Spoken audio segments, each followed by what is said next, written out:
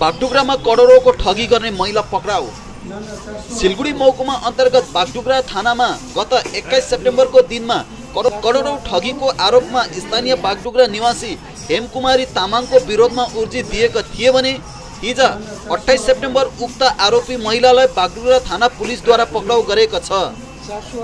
उक्त महिलाले आफ्नै चिनजान भएको साथी सङ्गिनीहरूबाट आफ्नो दोकानमा सामान हाल्ने या जमिन किन्ने भन्दै डेढदेखि दुई करोड जति लिएर चम्पट कसेका थिए भने पीडितहरूको भनाइअनुसार कसैकोबाट पाँच लाख भनी कसैकोबाट दस लाख गर्दै पैसा लिएका थिए र साथै उक्त पैसा तिन महिनाभित्र फर्काउने भने उहाँले लगेका थिए। उक्त आरोपी महिलालाई हिजो पक्राउ गरी सिलगढी अदालतमा लगिएको छ भने पुलिसकर्मीहरू यस केसको जाँचमा लागि परेका छन्। वो जो हमने दो चार दिन पहले केस किया था हेमा। हेमा तामंग के नाम में केस किया था ना वो केस के लिए आज भी आया है। अ, कल आई थी हेमा आई है यहाँ थाने में बागडोगरा थाना में उसने सरेंडर किया है उसने एक्सेप्ट किया है अपने केस के केस को एक्सेप्ट करके वो अभी थाने में है तो आज हम लोग आए हैं।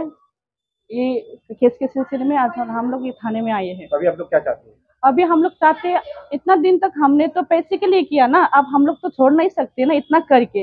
इतना कितना परेशान होना पड़ा ना यहाँ तक आने के लिए।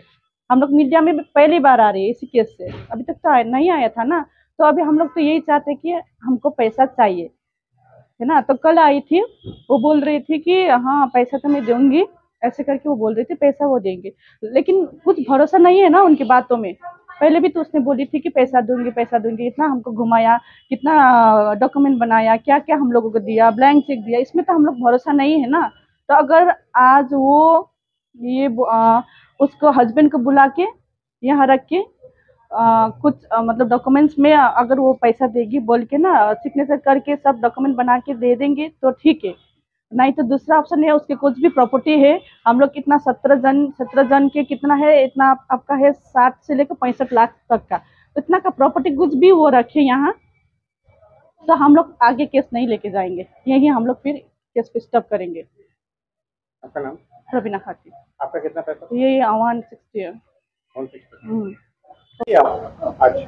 आ, आज मैं ये कहूँगी कि आ, हेमा आ चुका है इधर सिलेंडर किया है उस उन्होंने कॉलेज सिलेंडर किया इसमें उसका गलती एक्सेप्ट करके वो आ गए। यही बात मैं मीडिया को ये पुलिस को मैं थैंक यू कहना चाहती हूँ। वो आ गए है जैसे भी जैसे भी हमारे पैसा चाहिए हमारे को। क्योंकि वो गलती उन्होंने एक्सेप्ट किया है। एक्सेप्ट करके आए हैं। हमारे चाहिए। ये भी है कि हमारा ये सोसाइटी में क्या हो रहा था, इतना दूसरा का पैसा लेके लेके इतना आसान से उन लोगों ने बिहेव किया था।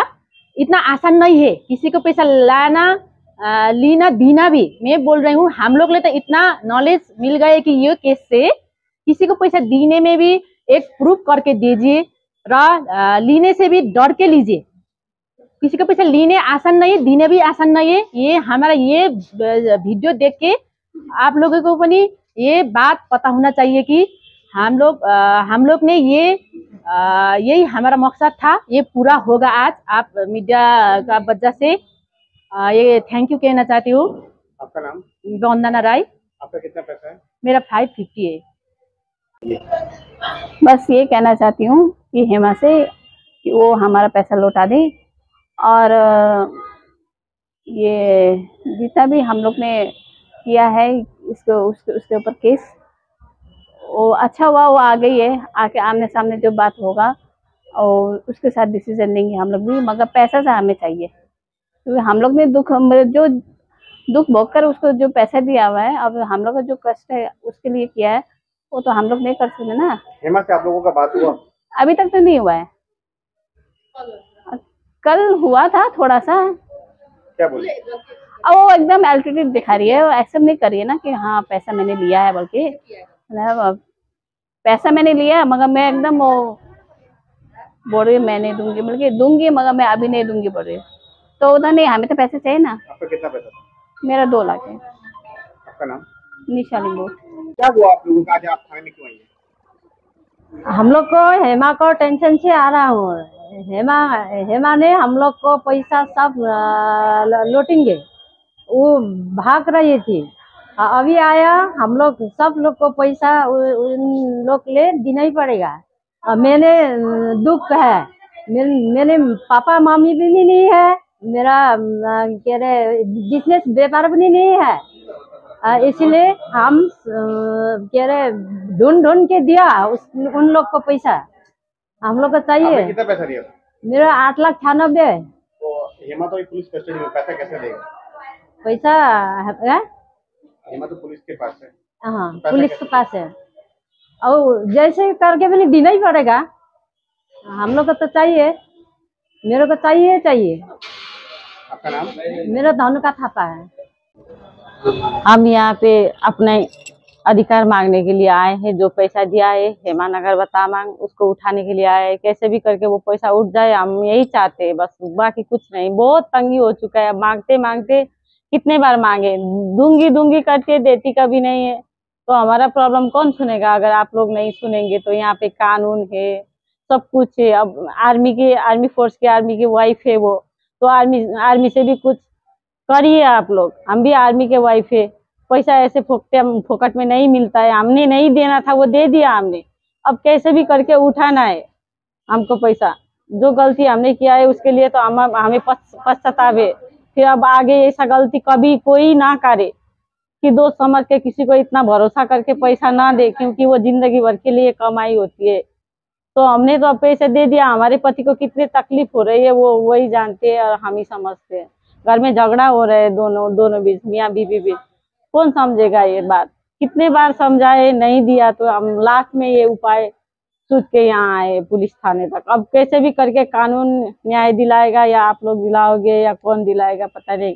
आप ये बात हम हम कह रहे हैं, हम लोग सारे, सब परेशान है, परेशानी में है, कैसे घर झगड़ा हो रहा है, सबका फैमिली में अच्छा मतलब बिहेव नहीं हो रहा है, क्योंकि हमने पैसा फंसाया, हमारा गलती है ये। हम मानते हैं अब क्या करें कैसे भी करके हमको न्याय चाहिए बस कितना पैसा फंसा था मेरा सात लाख पच्चीस हजार था वो तो आके सिलेंडर हो गई है अभी लेकिन सिलेंडर होने से क्या उसका तो एक ही बात होता है मैं दूंगी मैं दूंगी मैं दूंगी लेकिन देगी कब देना चाहिए ना देना पड़ेगा ना उसको इसीलिए मेरा देवी शर्मा सर আপনারা এখানে কেন এসেছেন আমরা এসেছি আমাদের মানে পয়সা এক এক মানে একজন বান্ধবী বলা যায় তো ফ্রেন্ড সার্কেলের মধ্যে আমাদের পয়সা নেওয়া- দেওয়া চলেছিল।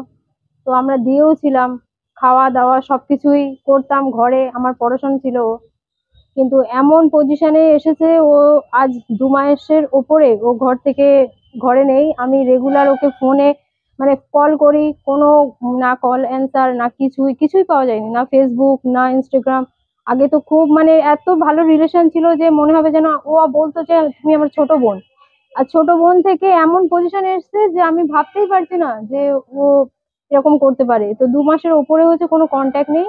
তো আমরা সমস্ত লেডিস মিলে জানতে পারলাম যখন, তখন আমরা থানাতে একটা ডায়েরি করলাম। তো করার পরে ও কালকে এসেছে। তো এখন জিজ্ঞাসা করার পরে বলছে যে, আমি পয়সা দেব, কিন্তু কবে দেবে কিছুই আমরা জানি না।